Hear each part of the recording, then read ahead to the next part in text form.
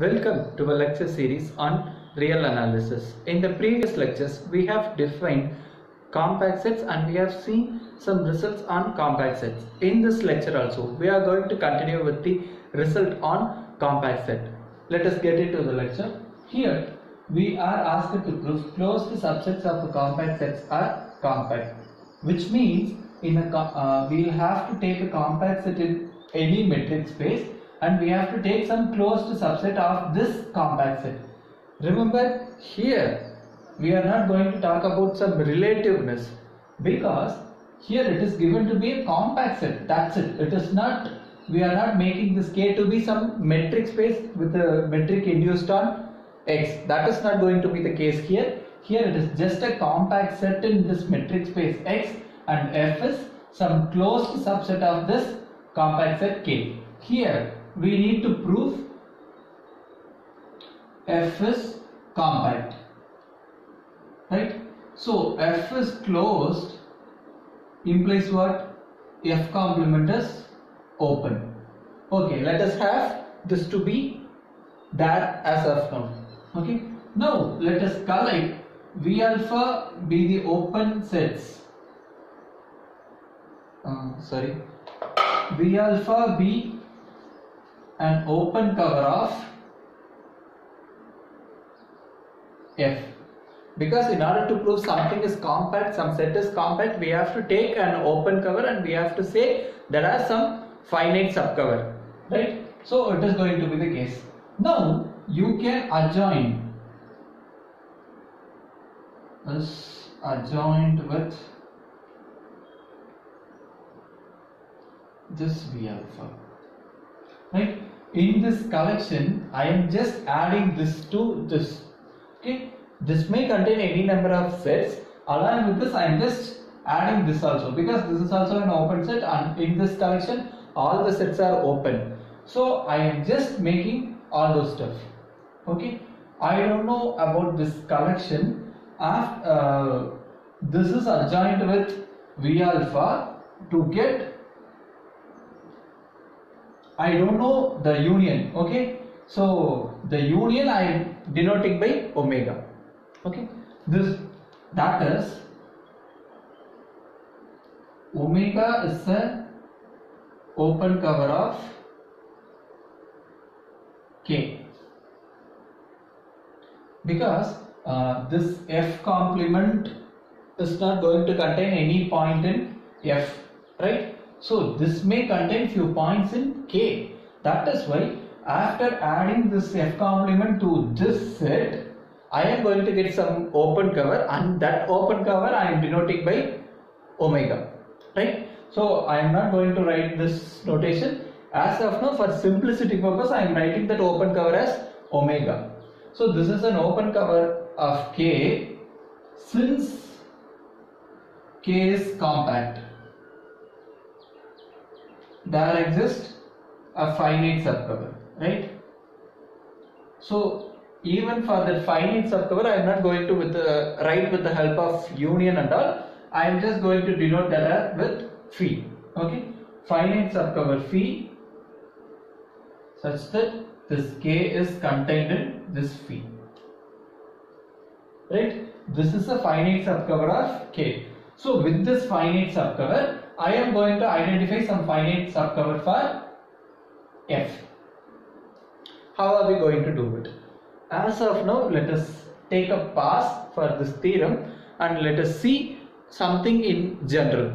Okay, uh, I have this in R as an open set, right? So in particular, let me choose uh, this to be a 0 comma 1. Okay, this is open set, right? I am removing some points from it. So from this I am removing 0 0.5, 0 0.25 and 0 uh, 0.75. I am removing these points from this. What am I going to get? I will get 0, comma 0 0.25, union 0 0.25, comma 0 0.5, union 0 0.5, comma 0 0.75, union 0 0.75, comma 1. Now you see here I am getting something like this. This is open that we know. Is this open after removing these points are we getting a open set? Here you can see that it is the union of open sets therefore it is also open. Right? So in let us see in two dimension thing. Okay? I am removing few points from this set. I, I just remove those points I have marked on this set. I remove those points. Now I have to see, see whether this remains open or not. In order to be open what should we say? There exists at least one neighborhood which is completely contained in it. So uh, the dotted points are not members of my point. Even if I take a point very close to this point I am able to I can find the distance between these two points and take the half of it. Or at least you fix the distance to be the radius so that this point the black dot one is removed in the neighborhood. You get some smallest neighborhood which is contained in the given set. That is why in a similar way you can prove all the points are interior points. Even after removing few points from that set you can retain the openness of this set. That is the idea. Here even uh, in an open set if you remove few points that still remains open right? That is the idea you have to remember now because through that idea only we are going to conclude this theorem. Okay let us get back to the theorem. Right? So here what are we saying? This phi is the finite subcover for this omega. This omega consists of elements in f complement as well. If phi contains points of f complement remove them.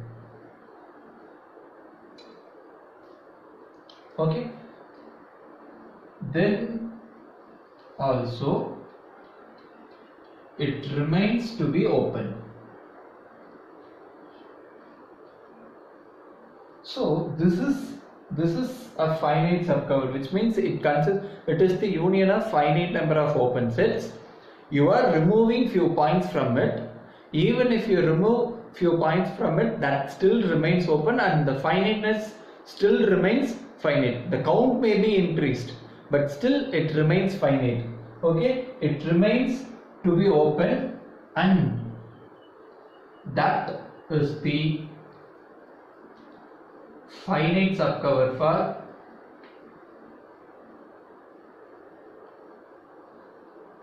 collection V alpha. Because this V alpha is not going to contain any points in F complement because it is going to cover F. Okay this is going to serve you as the finite subcover for this V alpha. Hence your F is compact. Right? So let us see uh, a corollary based on this result. Okay? For which we'll have to recall few more results from the previous lectures. Let me state the result. If f is closed and k is compact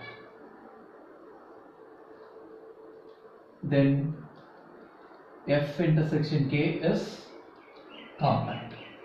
This is the result st states. Let us prove it. Okay? So we are talking this is some closed set this is some compact set which means what? F is closed in some metric space x. Similarly k is a compact set in that metric space x.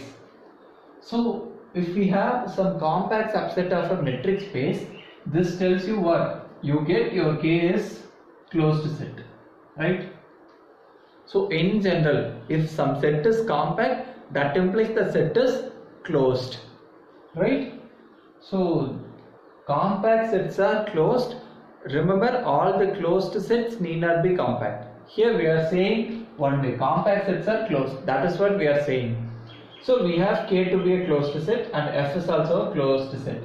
What is f intersection k it is the finite intersection of two closed sets. Therefore it is closed. Right? You have f intersection k. This is a subset of f as well as this is a subset of k. We have these two. Which one will be uh, useful context here this because we have f intersection k is closed and this k is compact now what do we have? You have a closed subset of a compact set. Just now we have seen that closed subset of a compact sets are compact using that result we can conclude that f intersection k is compact right if you have any queries you can post it in the comment section. That will be clarified within 24 hours of time. Thank you for watching